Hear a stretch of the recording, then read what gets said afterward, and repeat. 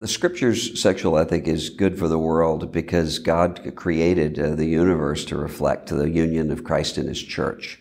And so uh, a Christian sexual ethic isn't just a, a, good way for Christians to live. This is the way God uh, designed the creation itself. And that's one of the reasons why uh, deviations from a creational biblical sexuality lead to such despair. And it's also the reason why, though I'm not panicked uh, when I look around at uh, sexual immorality and sexual brokenness around us. That's been the case in every era since the fall. And these sexual revolutions always promise big, but they never deliver on their promises.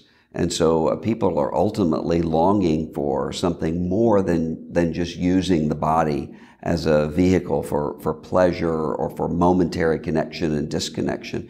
God designed us uh, to long for one flesh union, and that uh, that can only take place within that that covenant union between a man and a woman. And so, I think uh, one of the things that we need to do is to try to identify the ways that our neighbors, even those who disagree with us, really do, in many ways, uh, want uh, the the very things. If they're not they're not paying attention to what they're saying, the very things that the Bible teaches.